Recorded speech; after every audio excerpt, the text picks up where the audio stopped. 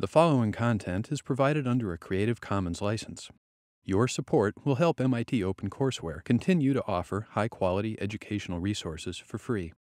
To make a donation or view additional materials from hundreds of MIT courses, visit MIT OpenCourseware at ocw.mit.edu.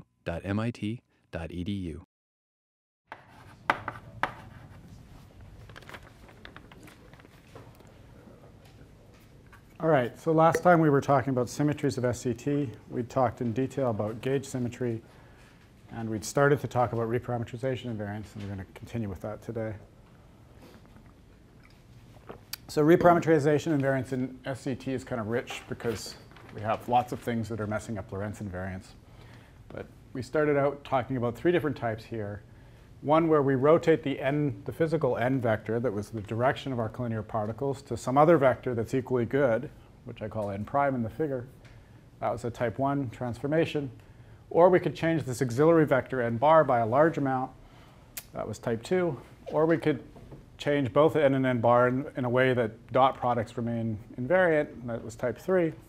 So all three of these preserve these relations, n squared equals 0 and bar squared equals 0 n dot n bar equals 2. And really, these transformations are just giving us a different basis for our decomposition, which satisfies all the things that we wanted that basis to satisfy, doesn't change any of our power counting, uh, and so is an equally good description for the, for the effective theory.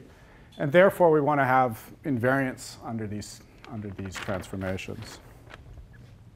So we're restoring Lorentz symmetry in this way we break it by, by introducing these vectors, but res restoring it in a way by having transformations on these vectors. But it's not, you're, you're not restoring, if you like, it's, it's still different than Lorentz symmetry, for example, because you're not making huge transformations of the vector n here for not any arbitrary transformation. And it is a reparameterization, not a Lorentz symmetry in, in general. So we'll talk more about how this connects to the HQET one in a minute. But if we have a vector, then obviously the vector p mu, if I don't write the right-hand side, is invariant to how, what choice of basis I use. Right? So that means that this p mu should not change. And that means if I change n here, for, let's say I do a type 1, then I'll change n here and I'll change n here. But I must compensate those changes by changing the, what perp also depended on the meaning of n, so there'll be a compensating change from the perp. So we can figure out from, thing, from statements like this what the transformation laws are. So this guy is invariant to the decomposition.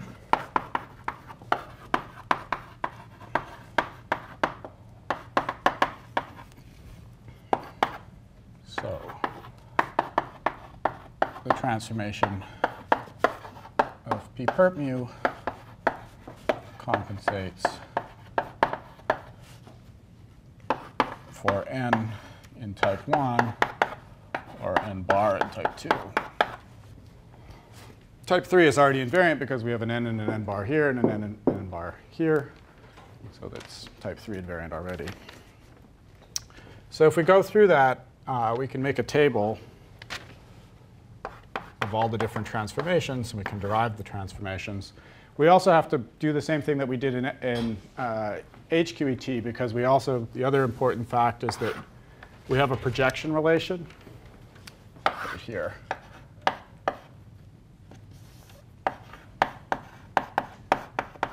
So we also have this. And you'll remember that when we did, talked about reparameterization invariance in HQET, the projection relation was part of the discussion. Um, and so that's true too. But let me just quote to you the results and you can kind of get an impression for where these various terms are coming from. So let's summarize first type 1. So type 1 was n goes to n plus delta perp. So if you have something like n dot d, that goes to n dot d plus delta perp dot d. There's a transformation of p perp or d perp. Let me write it as d perp. This is really for any vector.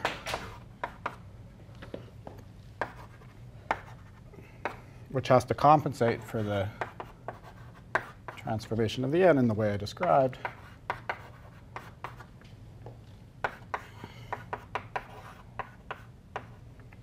There's a transformation like that. the n bar component under type 1 does not transform.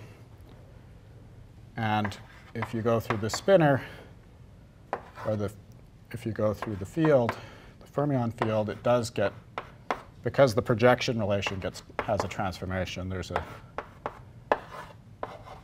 there's a transformation of this guy. The Wilson line, which, which we talked about, was up only a function of m bar dot a, and so it doesn't get transformed. So that's what type 1 transformations would look like. And type 2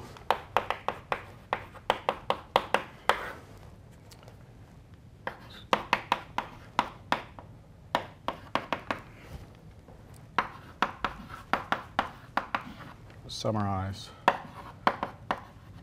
They start out looking the same, and then there's some differences.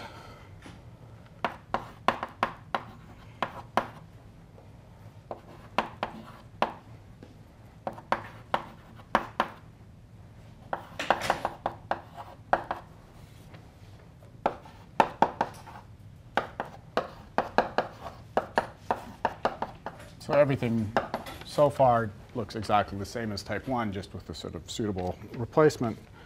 But the fermion ends up looking a little more complicated here.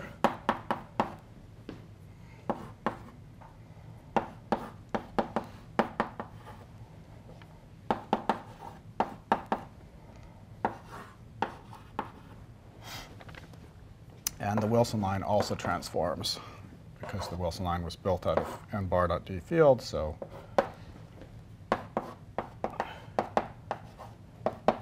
working to first order in that transformation, there's an additional term, epsilon perp dot d perp.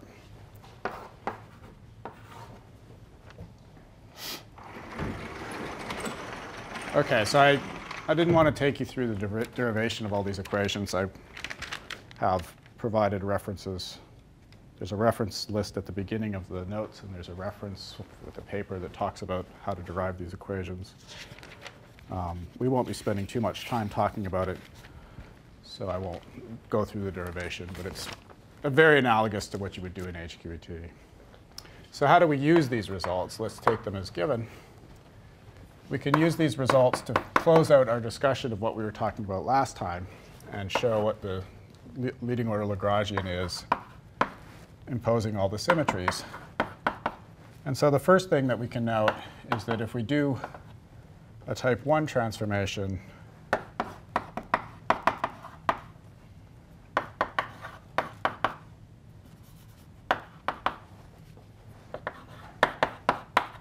of this guy and we simplify the result, then at the end of the day, that boils down to just the following.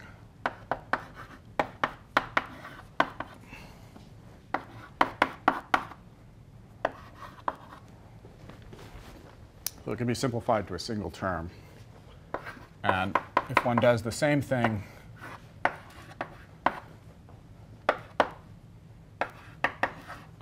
on this guy, then that gives us the same term but with the opposite sign. So these two operators are connected by reparameterization invariance. The sum of them is reparameterization invariant, and that looks good. So the sum is 0, connected by RPI, and that means, for example, that you couldn't have any non-trivial Wilson coefficient between them or anything like that. Now, if you go through the same argument with the other operator that we talked about last time, where it was d perp mu, d perp mu, so delta 1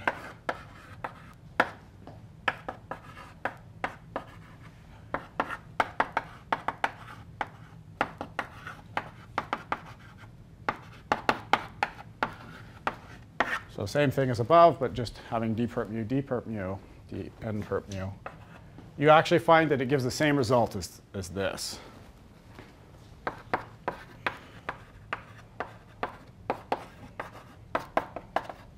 Okay, so if you just have reparameterization of type 1, then you can't really, it, the sum of this and this would be invariant, or the sum of this and this is invariant, or the sum of any combination of 1 minus a times that and a times this would be invariant. But type 2 does distinguish between this operator and this operator.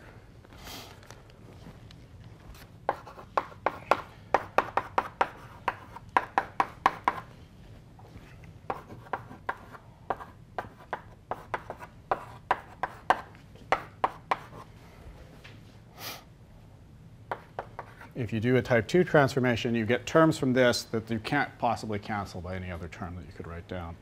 And those terms are such that the power counting, uh, there's not a subleading operator that could compensate either.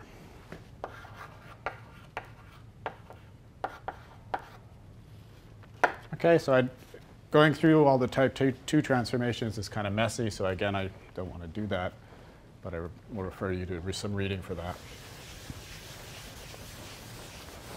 Okay, but if you take these two things together, then you do rule out that additional operator. And so then taking everything together, we have a unique leading order Lagrangian.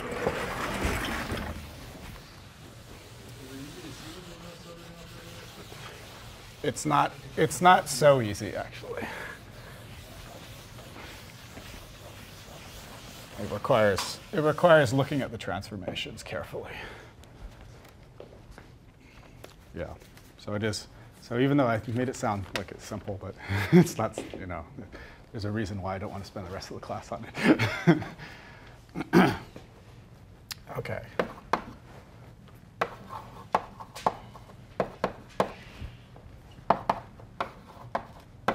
So if we put all the things that we've talked about last time and, and th this time together, and what we find that this Lagrangian that we've been discussing is unique for, two, for the CN field. So it's the unique leading order Lagrangian for the CN field.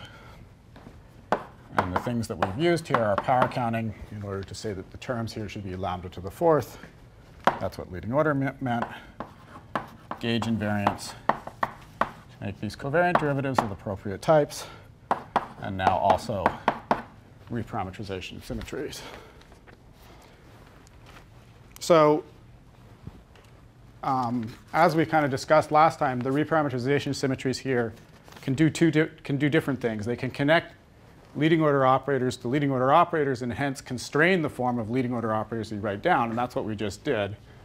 And in particular to the type 2, remember the epsilon perp was order lambda to the 0. So maybe it's not surprising that that's what it's doing. The type 1 transformation, the delta perp, took you down a power in lambda. But if you had some subleading operator, then it would also take you down a power in lambda. So to, that, that's one of the things that you have to be careful about when you're sort of counting powers of lambda. Um, but there is a sense also in which reparametrization symmetry does the same thing as HQET, which is it connects so it can do two different things. It can constrain the form of operators you write down at lowest order, or it could connect the Wilson coefficients, for example, of leading order operators to subleading operators. And that's what we saw on the problem set in the HQET example. It can do that here too. And so if we want to think about that freedom, then we should note that there's actually more kind of reparametrization than we've talked about just with this example. So far what we've talked about is changing the basis. But we could also change the amount of, of, of, the momentum that we stick in the label versus the residual. That was also a choice that we made in doing things.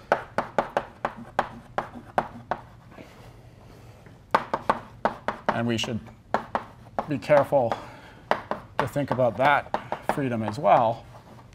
And that's also a reparametrization freedom.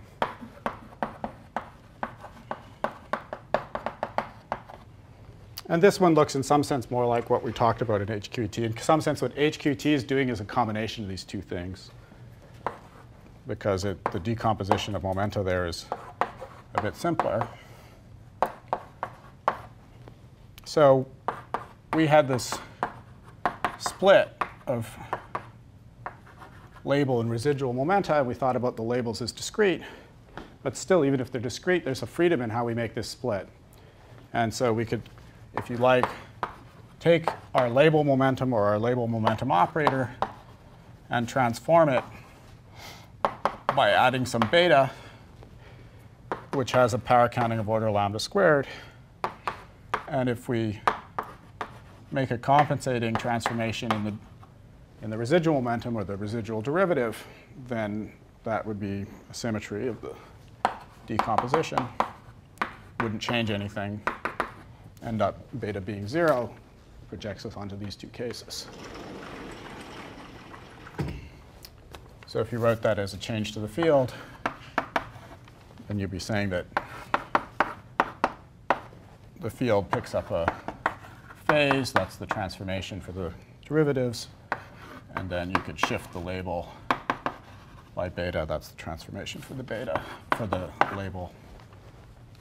Okay, so this is a different transformation than the ones we were talking about over there, and it's a transformation that has to do with this freedom.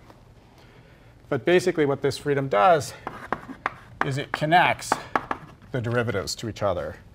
So it connects this combination. It does something very simple. So after you know what it does, it's simpler just to say what it does and not and forget about thinking about it as a transformation. It simply connects the label operator to be label operator plus the derivative operator. Okay? But these two have different orders in the power counting. And so what this will do is it'll connect things that are leading order to things that are subleading order, for example.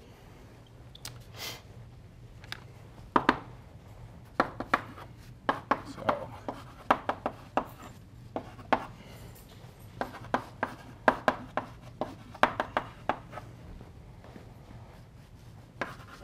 one way of saying that is it, that it, it connects leading and subleading Wilson coefficients because you can always think of the coefficient as the thing being fixed. And then it would do it in both something like a leading or order to subleading order Lagrangian, or if you also wrote down operators, if you wrote down a series of some external operator, maybe it's a weak interaction, then it could connect as we saw in the problem set, it could connect C1 to C0 like it did in HQET. Okay, so this, this one clearly does that.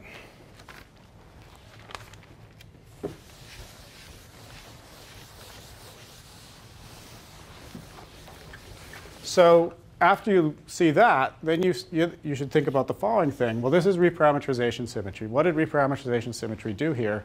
It connected label and residuals to each other. It said, well, they were both part of the same thing in the beginning, so there should be some connection later on in the effective theory, and that remains true. And it's encoded in this reparameterization symmetry. But you can also now try to think about, given that we have these derivatives, what about gauging that formula? Right? Gauge symmetry basically was telling us how to turn p mu into a covariant derivative and partial mu into a covariant derivative. So can we think about combining what we know from gauge symmetry together with reparameterization? And we actually can, if we're careful. And where this is leading is it we'll, we'll find that there's basically, in the end of the day, there's very simple I don't know if we'll get there today, but we'll try. There's very simple building blocks that in the end of the day you can build all the SAT operators out of. And we're kind of moving our way in that direction. OK, so let's try to gauge this. N dot label operator is 0. So for that guy, you just have in dot partial. There's no label operator piece. And gauging it just takes you to in dot d, which is the full D that had both an ultrasoft and collinear piece to it. And if you look back at how our transformations were defined for UC and UC and U ultrasoft, then this guy is basically just tra transforming in the way that you would want a covariant derivative to transform, and it does that under both types of symmetries because of the way we set it up like a background field for the n.a ultrasoft. Okay, but that's actually not really related to this story because it, there's no split in the n.p component. So it's really the other components, the perp and the n bar, where we have to pay more attention to what's going on. So if we look at what the gauge transformations mean for those components, it's the same story, but I'm going to write it out anyway.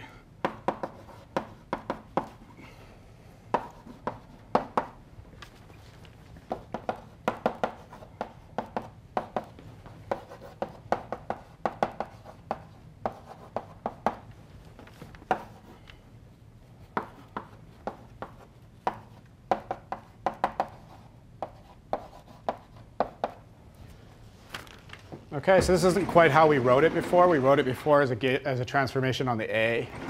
But if you put the transformation on the A together with the derivative, then you can write it like this. Um, you know, for this piece here, for example, remember what this thing is. This thing here is label operator p bar plus g n bar dot an. Label operator doesn't hit this guy. There's no, there's no label momentum in the ultrasoft u, so it just goes through that guy or gives zero, and UU dagger is one. So this piece doesn't contribute there, and this piece transformed in this way already. These ones are you know, slightly more involved, but what I'm saying is just a summary of what we already learned earlier or talked about earlier. And then finally, there's also the ultrasoft transformation. And the ultrasoft didn't transform under the collinear. And of course, it did transform under the ultrasoft. So this is a summary of what we said earlier. So the simplest idea that you would say, well, is just like take these guys and replace this by a covariant derivative and that by a covariant derivative, right?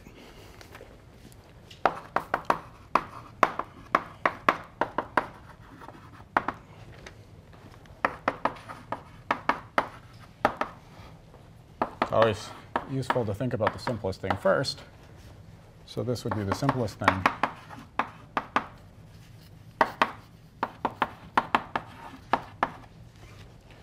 And that doesn't work.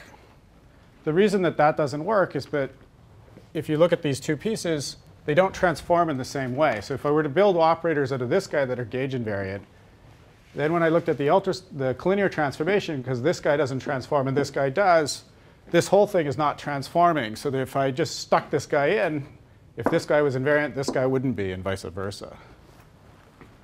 Okay, so this doesn't work.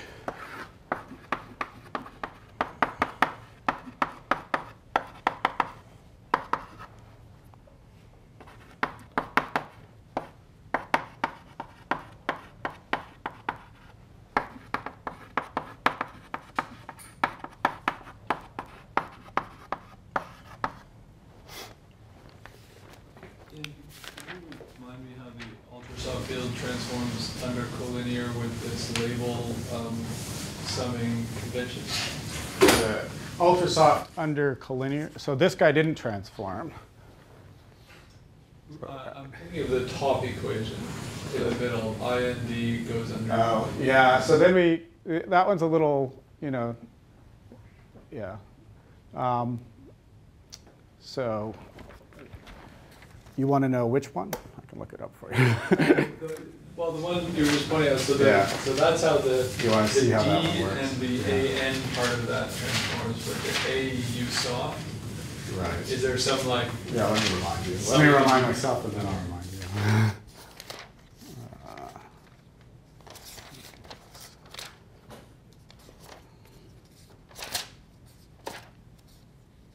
So the the A soft, so the A ultrasoft never transformed under the collinear, right?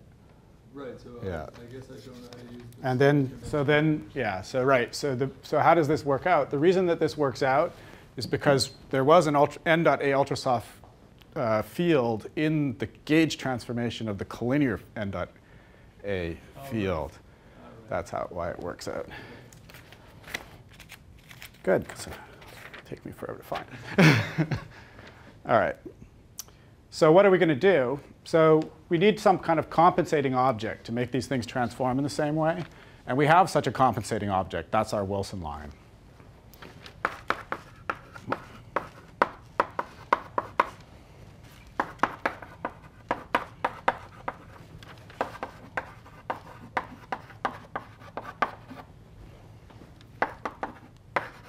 So the Wilson line transformed on one side. And so we can use it to modify those formulas and get a result that where both terms transform in the same way.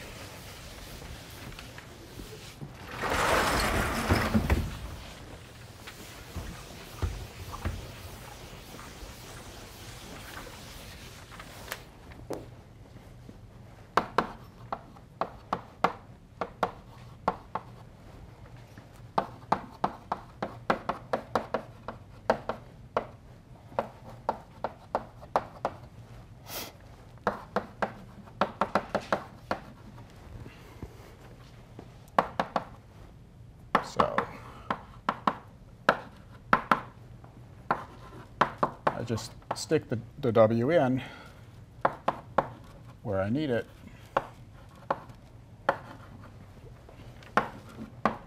in these two terms. And then I have set up things so that the transformation of the two terms are the same. And you could call this, if you wanted to define some kind of full D, then this is the kind of closest that you can get to defining a sort of D.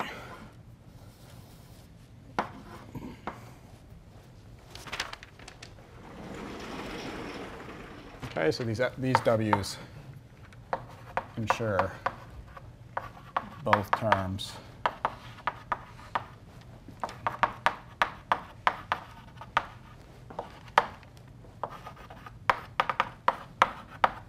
would ensure that under collinear transformation, both terms transform with a UC on, the outside. Okay, so we could just stick anywhere that we have a n, in bar dot dperp, we could just replace it by this and then expand out, i.e. we could get a subleading term by just using this operator here. And we know that that is going to be there because of reparametrization symmetry, which was connecting the derivatives and therefore connects these two. And once we put in gauge symmetry, then it's, this is the form. So if you go back to what we talked about earlier, we said earlier, I said A mu for the full theory, that you could just sort of think of it as splitting between a collinear and an ultra soft field. And then I said plus dot dot dot. Okay? And I said, we'll talk about what plus dot dot dot is later. So now is later. What plus dot dot dot is, is terms that you would generate from, for example, the derivatives here hitting the Wilson line or expanding out these Wilson lines of the gauge field. And so those are making it, you know, have terms with more fields than just one field. And so if you thought about the A in, in here as sort of a full theory A, and the A's in here as effective theory, you could derive a formula like this one, but it would involve more complicated stuff. It's not, it's not good to think about it this way. It's better to think about it in terms of the covariant derivatives, because then you're already thinking about gauge invariance. So this formula was useful earlier, but it's actually these formulas here that are the more useful way of thinking about taking sort of full theory derivatives and turning them into effective theory results.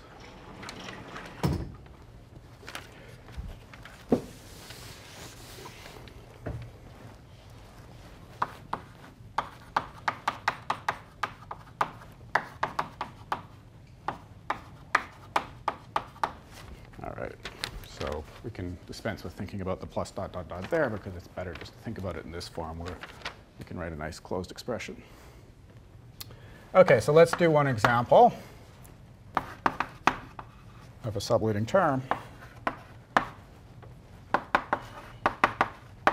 So we had an operator that involved covariant derivatives that were collinear. This one. And if we just use the, the top formula there, then we know, so this is a term that was in L0. Then we know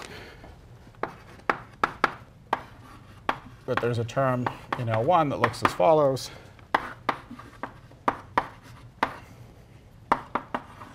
And I want to write it out so you sort of see how the, also the gauge symmetry works out nicely.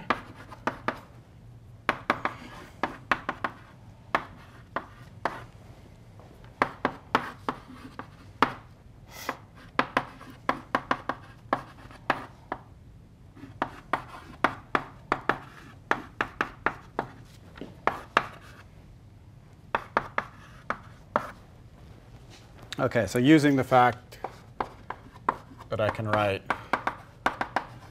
this guy as a Wilson line, 1 over p bar times a Wilson line, and the fact that I get some Wilson lines when I look at the subleading term. So some of the Wilson lines I get W, W dagger is 1, and then uh, the remaining Wilson lines are sitting next to collinear fields in such a way that this guy here is collinear gauge invariant, this guy here is collinear gauge invariant, and then there's an ultrasoft transformation that connects up all the pieces. Okay? If we didn't have these W's here, we wouldn't have got those W's in the right spots there. And this operator that I write down here would not be collinear gauge invariant. So this operator is both collinear and ultrasoft gauge invariant.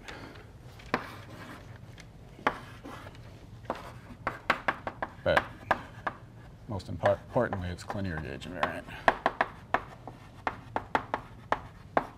because of what we did there.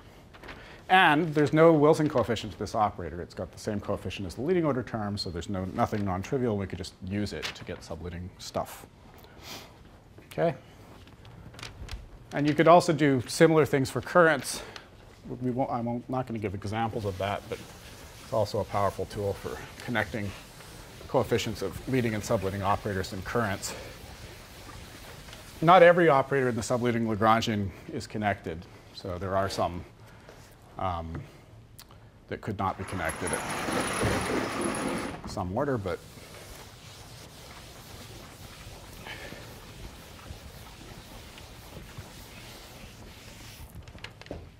there's actually more connections than there are in HQET because we have more symmetries. Okay, so any questions about that?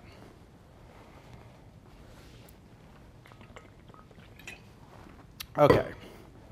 So, so far we've, all, all of our discussions have been about one collinear field. When we do SCET, we actually, in general, want to talk about more than one collinear field. So how would we generalize everything we've discussed to more than one?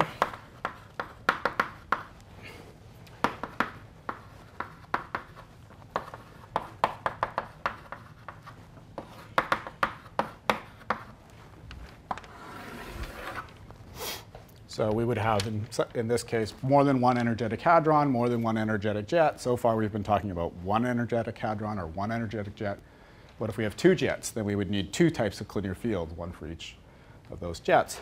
And basically, what we have to do is take our collinear Lagrangian, well, let me call it Ln0, which is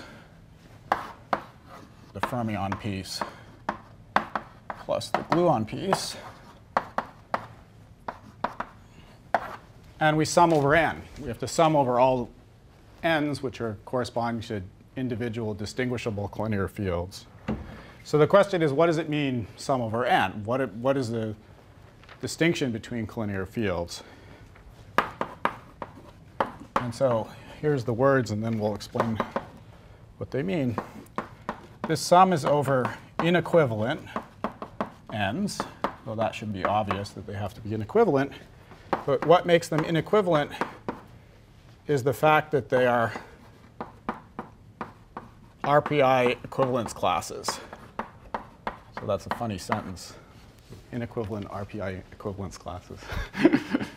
so two n's are the same if they belong in an equivalence class that could be connected to, to where they could be connected by reparameterization invariance. So you should think of the n's that I'm summing over here as just members, one of each class. They're the kind of just, just picking out um, uh, what that class is, just labeling it by one member, and then I sum over an inequivalent set. So let's just imagine that we have some n's, n1, n2, n3. And we can ask the question, what makes them equivalent or inequivalent?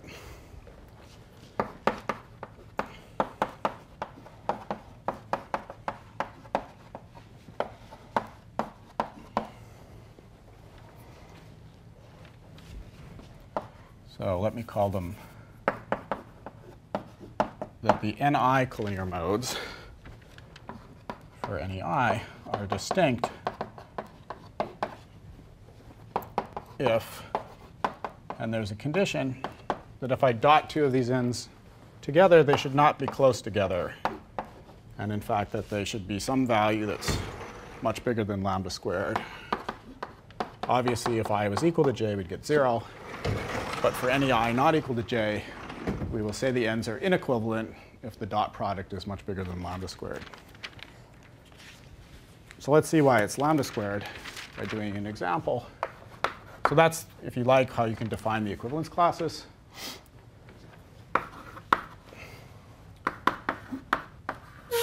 Let's imagine you have some momentum p2, which is a large piece times n2. And then you dot n1 into it. So n1 dot p2 is q n1 dot n2. And that would be of order lambda squared if n1 dot n2 were of order lambda squared, right?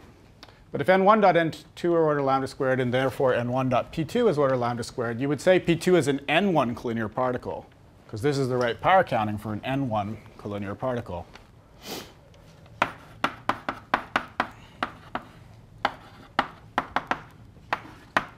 So it's both n1 collinear and n2 collinear, and that just means n1 and n2 are just two members of the same equivalence class.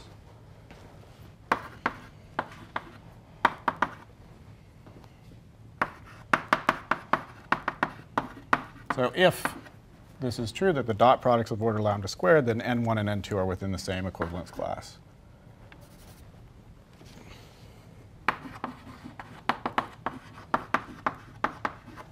Which, if you wanted some notation, you, you could say n2 is in the class defined by n1. So you could really think of this as a sum over classes, but I guess usually people just write sum over n.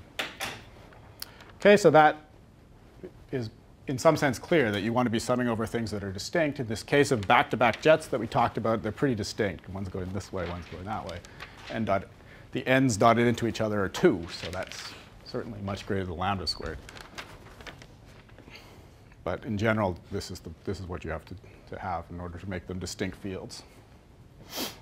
So then ev everything basically that we've talked about kind of goes through again. And I'm not going to dwell on it, but I will just kind of repeat some things.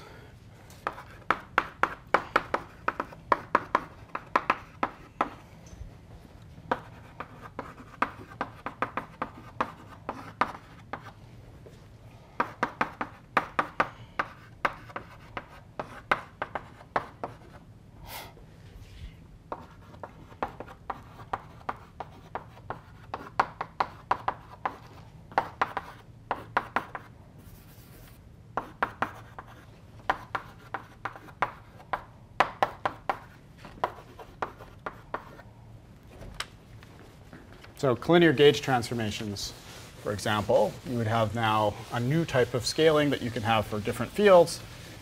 And you could have two different types of collinear gauge transformations, one for your N1 collinear fields, one for your N2. If N1 and N2 are distinct, then those will have distinct scalings for the corresponding momenta, so they'll be distinct transformations. And fields won't transform under the other guys. N1 collinear fields won't transform under the N2 gauge transformation, because again, that would spoil the power counting for the momenta. So at some level, it's very intuitive to figure out how what the results are. I'm not going to go through it, but suffice it to say that we would have collinear gauge transformations for each collinear guy. Reparametrization, same story. We have separate invariances for each pair of n's. So n1 and n1 bar. For the n1 sector, we have a reparametrization symmetry. n2 and n2 bar for the n2 sector, reparametrization symmetry, et cetera. And here is actually where you see that there's something kind of that looks different than Lorentz invariance that's going on, because the reparametrizations are only acting within a sector. So there's if you do an N1 type reparametrization, there's no transformation of an N2 type Wilson line or an N2 type gauge field, right? So an N1 transformation affects the N1 collinear fields and objects, N2 type, which could affect that. And it's, it's more like a Lorentz transformation that sort of acts within the, sector all by itself, but it's not really a Lorentz transformation, it's, it's a, this reparametrization symmetry. Okay? But it's exactly the transformations we wrote down, just you don't transform N2 type fields when you do an N1. And just like we had before, if you do matching calculations, you get Wilson lines, but now there can be more than one type.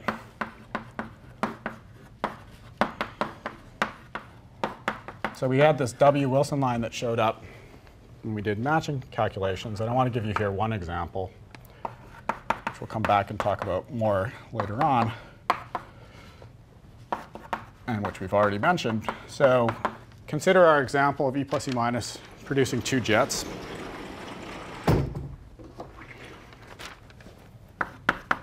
So in the full theory, you just have a vector current from the photon. And if you want to match that onto the two-jet operator, you can go through the same type of thing that we did when we were doing the B, B, beta S gamma example.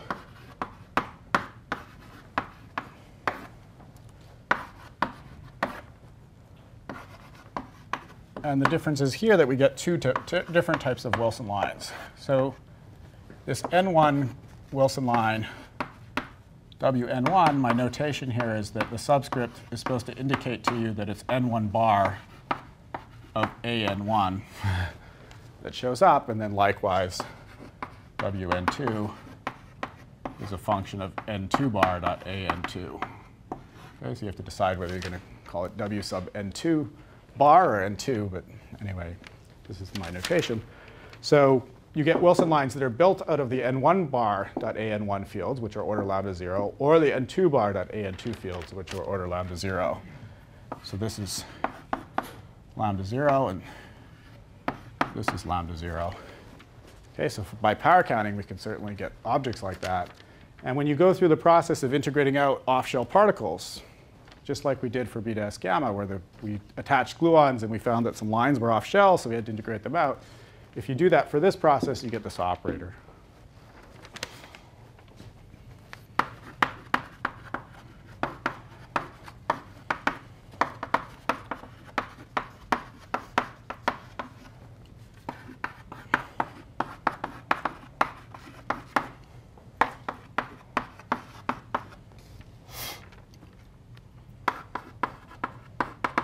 So when we construct the effective theory, we have to integrate out off-shell particles, and doing so generates this Wilson line operator.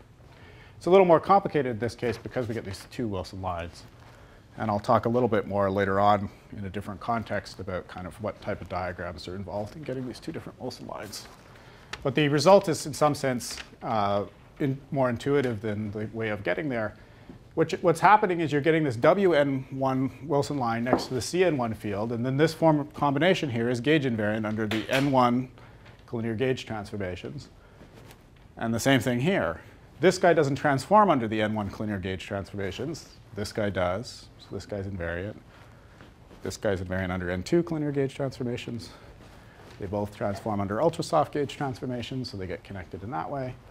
And again, you have sort of, if you just think about gauge symmetry and how it should come out, then you would have guessed that it should be this.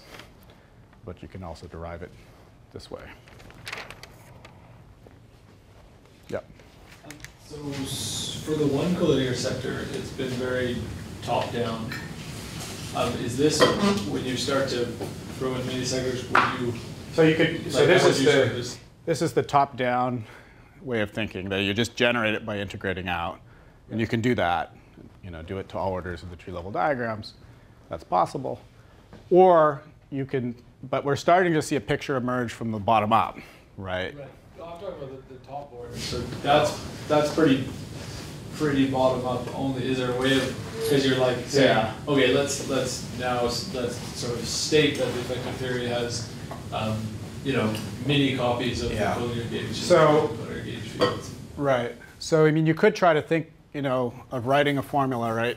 You could start try to think of it like let's take A and let's write A. Let's just do two, right? You could start trying to do that, but at some point it just loses its friendliness, it's not really buying you anything. So starting to think from the bottom up is actually a good way of going at this point. You could still do it from the top down, but it just gets more and more cumbersome. Any other questions? All right. So let's come back and study our, our leading order Lagrangian. And actually, we've already learned something about factorization, although we, we don't know it yet. So what is this word factorization? One way of thinking about what factorization is, is it's how different degrees of freedom talk to each other. And given that we have a leading order Lagrangian for the collinear and ultrasoft fields, we should know something about how collinear and ultrasoft fields talk to each other.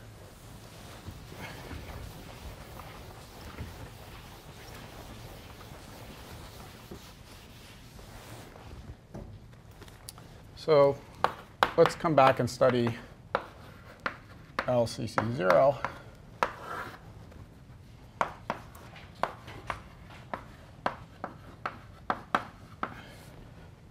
So the propagator, if we read out what the propagator is,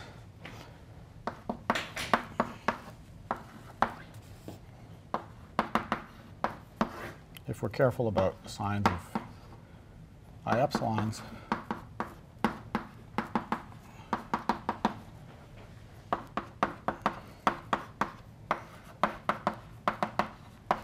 we had both particles and antiparticles.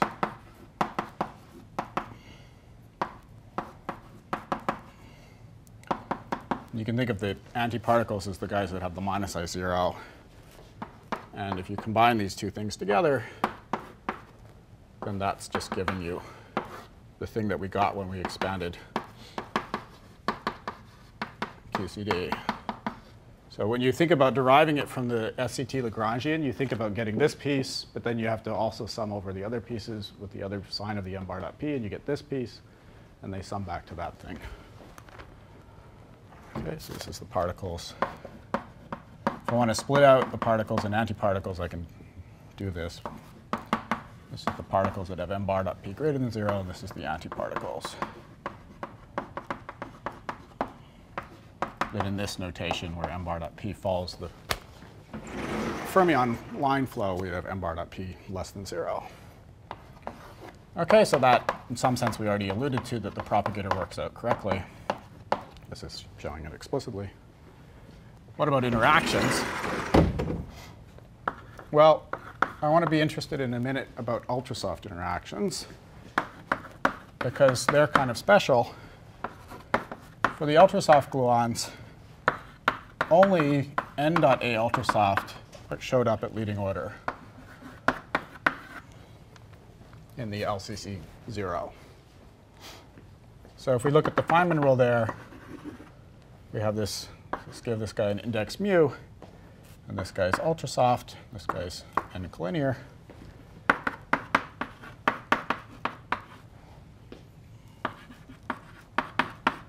Then the Feynman rule just has n mu in it, not gamma mu. Okay. So that's uh, an observation that we know from our LCC0, and that just comes from, remember this just comes from the in.d term because that's the only term that had the ultrasoft gauge field in it. But there's another fact that our Lagrangian told us, and that is that only the n.k ultrasoft momentum, so if I call this momentum k, only the component n.k was also showing up in the propagators.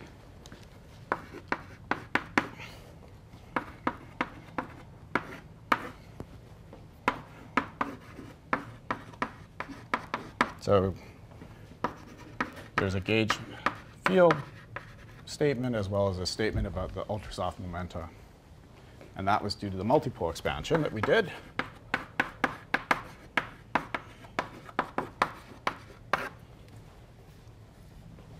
So if we do that at the level of, of thinking about some kind of diagram, so let's think about some type, type of diagram like this, and let's look at this propagator here. That propagator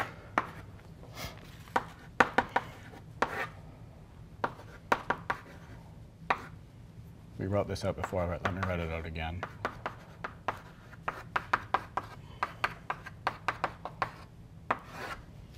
So if I say P is this guy and K is this guy, then this guy's P plus K, but K being ultra soft, these guys are supposed to be ultra soft, let's say. K being ultra soft, only the n dot K shows up in that propagator. And if we work on shell, where P squared is zero, so let me first rewrite this so that you can see where I'm going. I can form a full P squared in the denominator from the terms that depend on P. That's just the full P squared of the particle.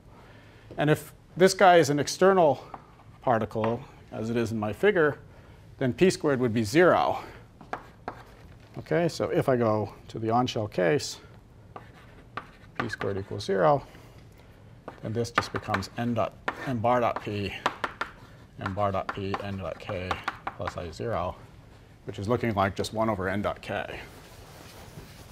So it's becoming very simple.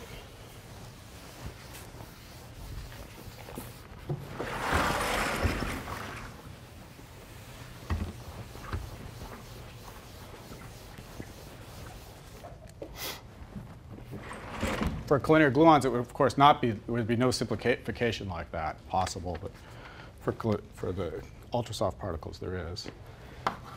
And so what has just happened is that the propagator is becoming eikonal.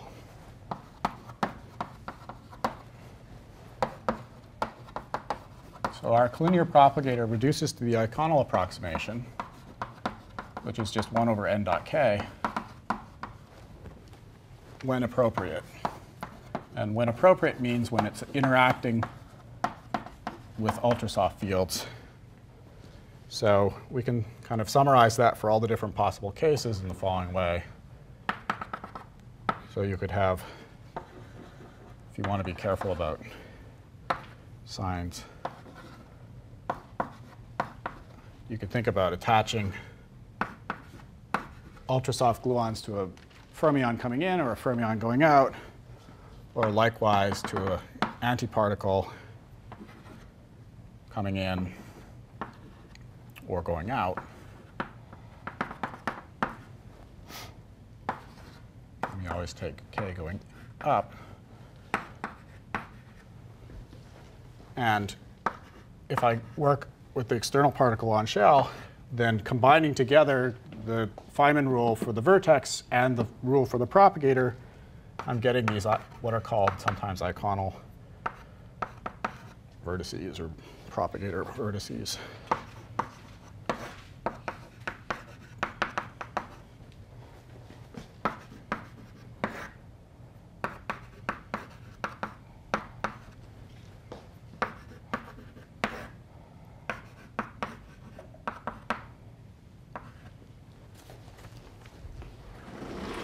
so this is, these are eikonal. Eikonal in both the interactions and in the vertex. And that's what should happen for having a very soft particle talking to something very energetic. That's called the eikonal approximation, and it just falls out of our effective field theory. So this can actually lead us to something deeper, which is called ultrasoft collinear factorization.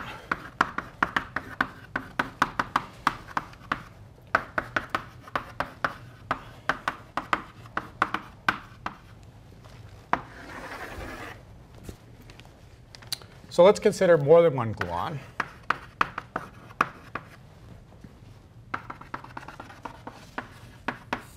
He'll have one collinear fermion, and we'll just attach a bunch of ultrasoft gluons to it.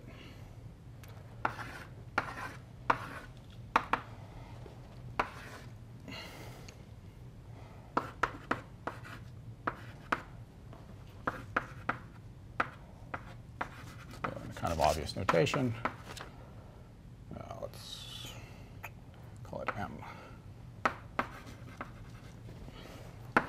So we could sum up those diagrams. And if we sum up those diagrams, we get something that looks familiar. So sum over m, sum over permutations, some factors of g, gauge fields.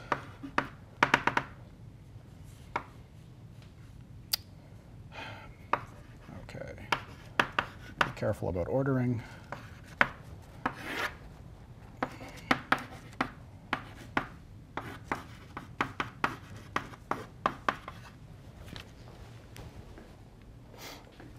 And I'm working here on shell. So the external collinear particle has p squared equals 0. So if you think about what this is, it's just our Wilson line. It's not the same Wilson line that we were talking about before. This Wilson line is built from ultrasoft fields, not collinear fields. And it doesn't even point in the same direction. It points in the n direction, not the n bar direction. But it is a Wilson line.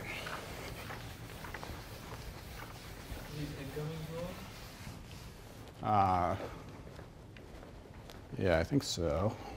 I think we might have errors in the top board. So for this guy, there's no minus sign error because, um, well, I didn't tell you what the proportion, like, I- there could be a minus g or a plus g here, right? Yeah, yeah, that's minus g probably. Yeah.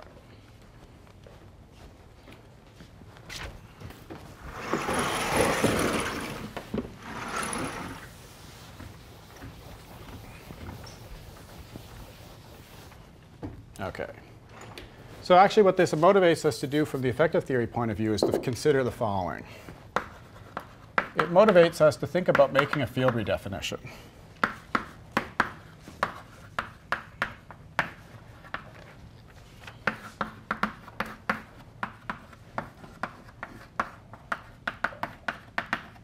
Because what we just did is we iterated the leading order L0 Lagrangian over and over again to get these vertices as well as the propagators. And we ended up with something that was just a Wilson line. Could we capture that somehow in a simpler way? And the answer is yes, if we make the following field redefinition.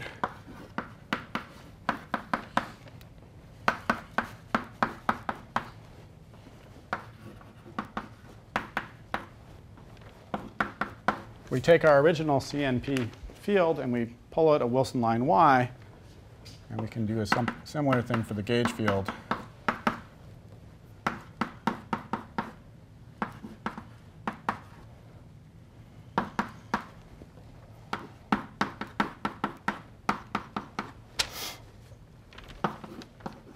This is just the adjoint version of the same field redefinition, where y is a Wilson line, which corresponds to that in momentum space and in position space. It's a path ordered exponential.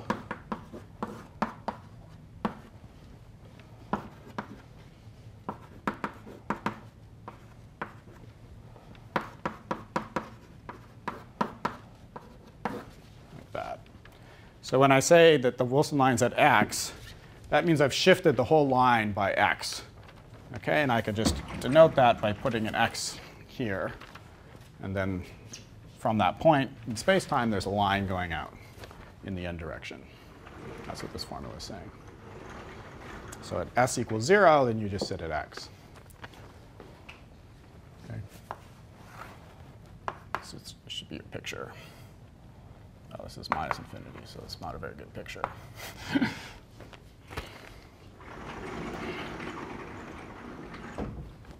and so this Wilson line, like any Wilson line, has an equation of motion, which is this. It satisfies y dagger y is 1.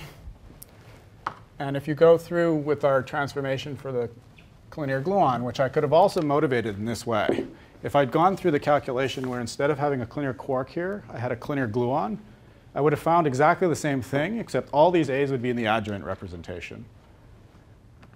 Uh. I didn't write the t's anyway, so. All right, so either the fundamental rep representation or the adjoint representation, and that would motivate you to make the same type of field redefinition to try to capture what's going on there. Okay. So let's see what that does to our Lagrangian.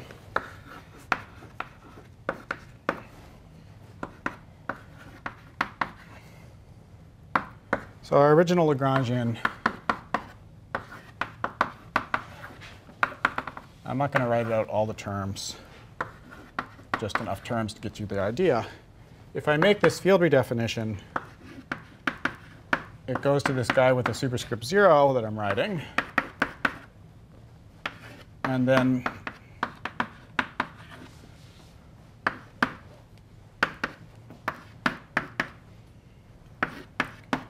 let me write out here, let me split this derivative into two pieces.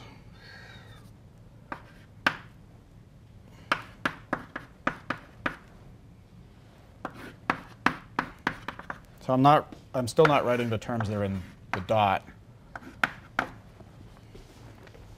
So what I did is I took the y from this guy and the y from that guy, put them inside the square bracket. This n dot d, remember, has two pieces. It's i n dot d is sort of an i n dot d ultrasoft, which just has the ultrasoft gauge field, but then there's a piece that involves the collinear gauge field. But then the collinear gauge field also transforms as I wrote up there. So I get this y, y dagger for that guy. So for the collinear gauge field, these y's are canceling. And this guy here, if you push the derivative through the y using this formula, then the y's are also canceling. And this is just becoming i n dot partial. So that's becoming i n dot partial. And this is becoming n dot a n of 0. So what's happening is that the ultrasoft gauge field is dropping out. Now there's terms in the plus dot dot dot. Those terms involve the d perp slash and the 1 over n bar dot d. And if I had written out those terms too, then the same thing would happen actually. They would all, all the y's would cancel out in those terms as well.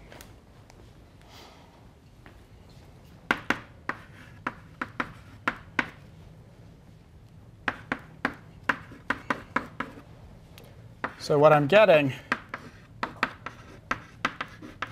here is something that I might call an n dot dn. It's a covariant derivative that only involves the an0 field. And there's actually no ultrasoft fields at all left in the Lagrangian after I make this field redefinition.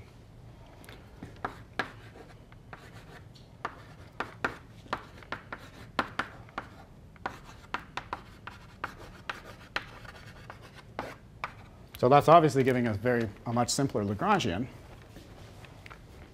Okay, so it looks like a good thing to do. And that, if you go through it, is actually true also for the gluon action. The gluon action was also built of n dot d type fields, type covariant derivatives. That's where the ultrasoft gluon showed up. And basically, same thing happens. This same relation right there means that the ultrasoft gluon would decouple from that Lagrangian as well. So making this field redefinition, we actually decoupled in the Lagrangians the ultrasoft and the collinear fields.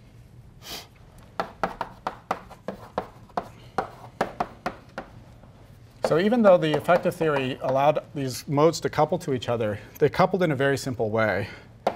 And so what we're saying is that it's convenient for, because they couple in such a simple way. If they didn't couple in such a simple way, we would stop and we just use that Lagrangian, we do physics. Since they do couple in such a simple way, we can do physics in terms of some reparameterized variables or redefined variables, which are these new variables. And that's convenient because now, if I think about our original Lagrangian, it goes over to something that looks much simpler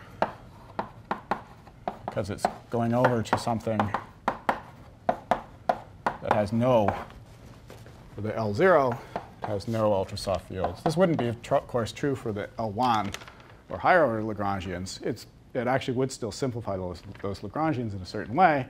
But for the leading order one, it seems to make a, a dramatic simplification because we no longer have this coupling. So you might think, well, the interactions have all disappeared. But they haven't disappeared because when you make the field redefinition, you can't just make it to the Lagrangian. You also have to make it on operators in the theory. And what this does is it moves some interactions out of the Lagrangian and into currents.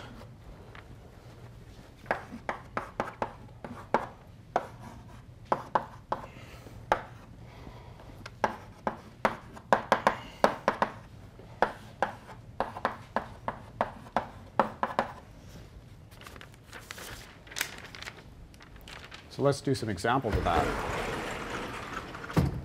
Since it's for the Lagrangian, it's always the same. That's one of the reasons why this is powerful, because we just do it once and for all. We just did it for the Lagrangian. And then we can see what happens for a bunch of different currents. So I'll do three examples. So one example that we had was this current for e s gamma, which had a heavy quark field and a one light collinear up quark and a Wilson line. I should have said another thing that I'm using, which is important, is that if you go through what, make sure I get my y's and the y daggers on the right side. If you go through what happens for the Wil collinear Wilson line after the field redefinition, this guy, remember, is written in terms of the, these fields. And this guy here is written in terms of those fields. And it also gets y's on the outside. That's, an, that's important when you start considering, for example, these dots. Or OK, but I need that here. So given that that's also true, um, if I want to look at this guy, just make the field redefinition. So I get this. I get a y, y dagger on both sides of the Wilson line.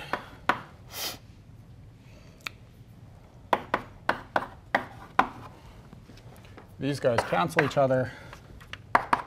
This is a Wilson line 0. So I have C bar 0, Wilson line 0. And I have gamma. And I have Y dagger HV. So now I have a Wilson line sitting next to the heavy quark and another Wilson line sitting next to the collinear quark. So all the if you think in the diagram that we drew, the interactions that were those gluons attaching to the collinear quark, they're now just all represented by this Wilson line here. But it's even more than that because we also transformed the Wilson line. So even if we'd attached ultrasoft gluons to that Wilson line, they all magically simplify into a simple, one simple Wilson line, Y dagger. So from a diagrammatic point of view, if we'd actually tried to carry out the calculation that would give this formula, it would be kind of horrendous because there's an enormous amount of cancellations going on to give this. it just looks complicated in the diagrams, but here it looks very simple.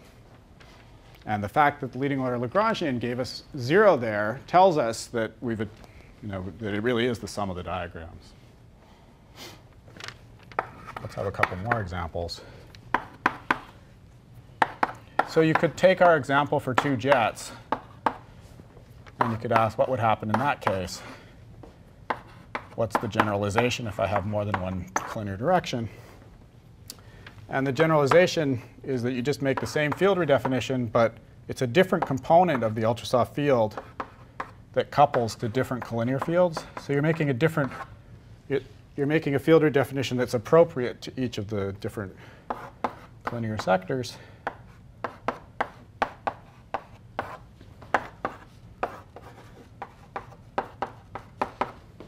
But other than that, it goes through the same way. And so here, this y yn1 dagger involves n1.a ultrasoft fields, and this guy here involves n2.a ultrasoft fields. And they don't cancel, but they do simplify all the interactions, in this case, simplify to this simple y dagger y combination. OK, so having more than one collinear direction is not, I mean, it, it means that you have more than one type of y showing up. But again, it's just the leading order Lagrangian for each of those sectors that tell you what's going to show up.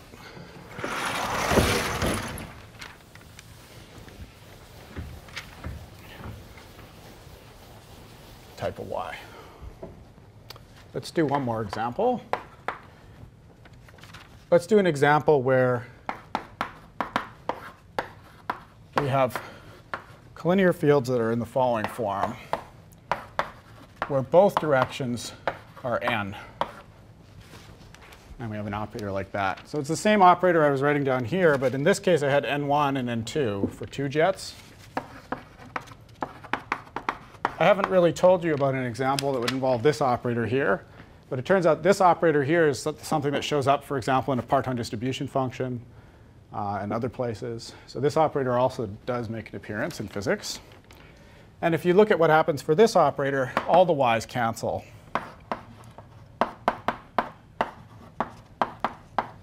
So when you go through the transformation, we have y, y dagger, but then the y's exactly cancel.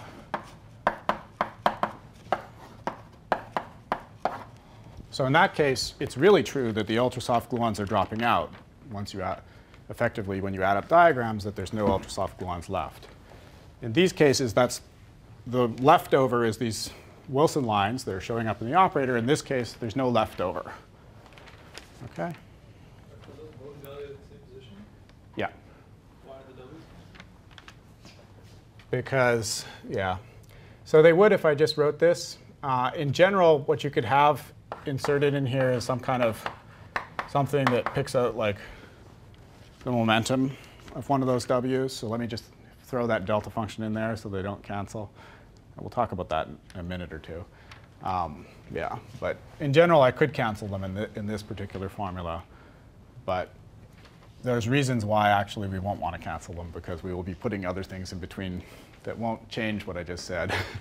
so imagine that you had something that measured the momentum of one of these products of fields, it would still be true that these y's, which are not having labels, would cancel in the way that we said, um, but the w's wouldn't cancel. OK, so this is called the BPS field redefinition, and S is me. And this thing sums up an infinite class of diagrams.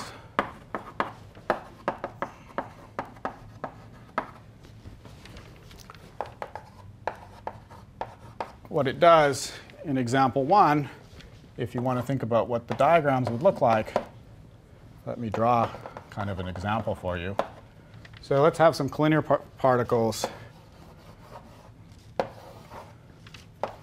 And just to make it look non-trivial, let me draw something that seems kind of non-trivial. So there's a bunch of collinear particles.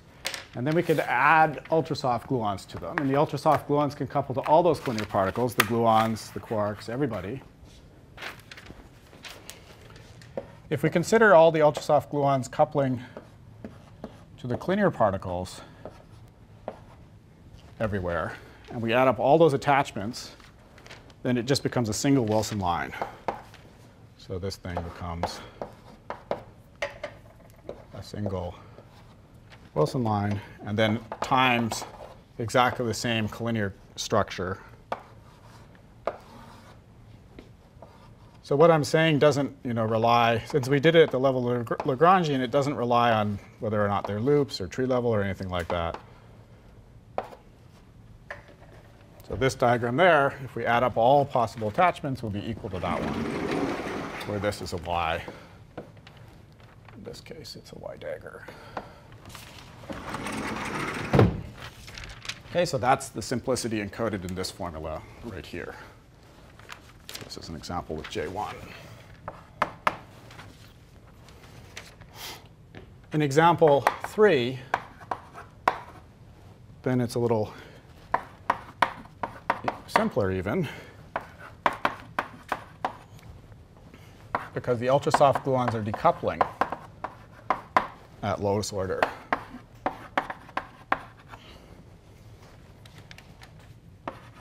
from any graph that you might consider. So you go through the same exercise, but now that the y's are all canceling out. And this has a name that sometimes people use called color transparency.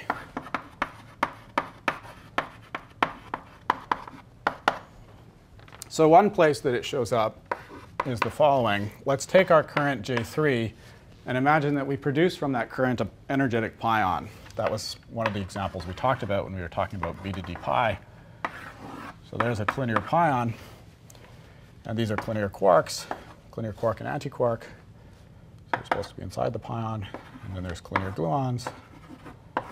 If we attach all the ultrasoft gluons to this object, then the Wilson lines cancel.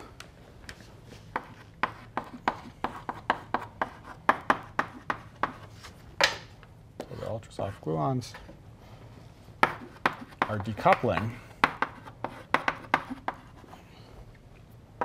from energetic particles. And the reason that they're coupling, decoupling is because the partons here are in a color singlet state, which is this pion.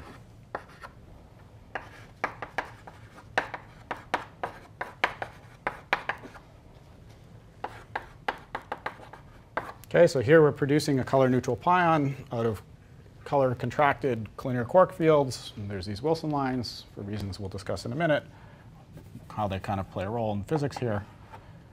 But the reason that the Wilson lines are canceling is because the collinear things were already contracted. All the collinear things in the n direction were contracted in a color singlet, global color singlet. So the, way, the words that go along with this, this phrase color transparency is that you have these very soft gluons, and they're trying to come in and see this thing. But they can't really, all they can see is sort of the overall color charge of the whole thing. They couple kind of, you know, you, because of the multipole expansion, they're only coupling to a sort of single component, and you can think of that as if they're only seeing an overall color charge. And therefore, since its overall color charge is neutral, you don't see, they just cancel out. Okay. In my notes, I also have a page talking about how you could think of gauge transformations after making this field redefinition, but it's kind of an aside, so I'm not going to talk about it in lecture. But I will post it. Okay, so what about these? What about the this additional kind of thing that I was alluding to here? How does that come in to our story? So, so far in our story, we haven't really talked about Wilson coefficients, except to say that they could be constrained by reparametrization invariance to be absent.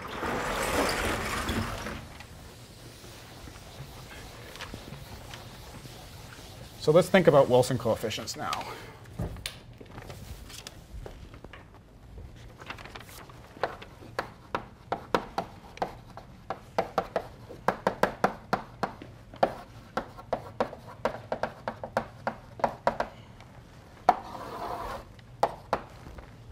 Obviously, that's something important. And the way that Wilson coefficients can come in is the following way. They can depend on the large momenta that were order 1. And one way of denoting that is by saying that they depend on label operators.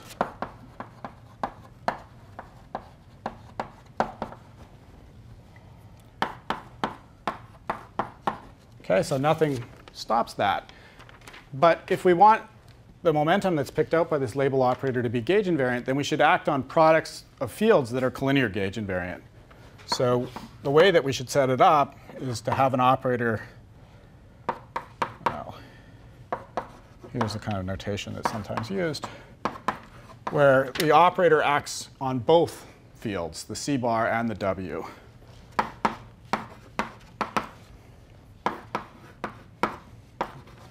because of our formulas for the label operator, we could also write this as a label operator acting to the left if we wanted. So what this, what this Wilson coefficient is, is the function. It's not just a, simply a number. And it picks out the momentum of this product of fields.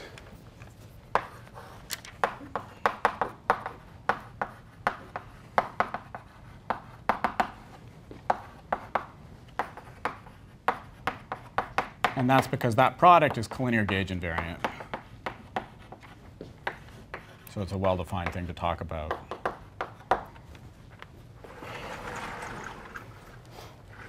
Okay, so that's actually the general structure that whenever we have these products of fields that are collinear gauge invariant, if we ask what the Wilson coefficient could be a function of, it can be a function of the momentum of those products. So one way of writing this in a sort of more elegant fashion is as follows. So take this guy and write it as a delta function in the following way.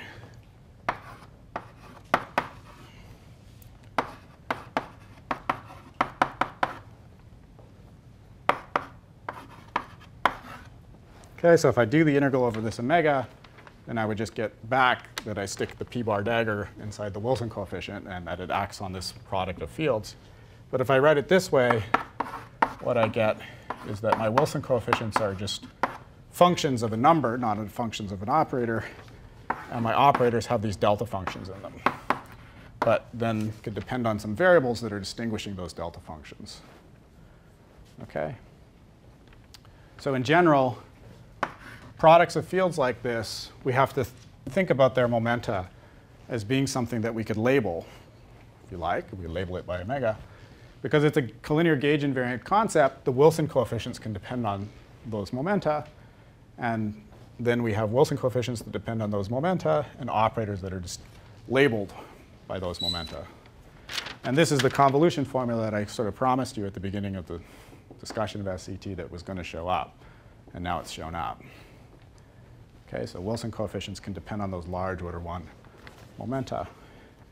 And traditionally, they're written as integrals, even though you could think of them as sums at this point, and it wouldn't make much difference. So this here is what's called hard collinear factorization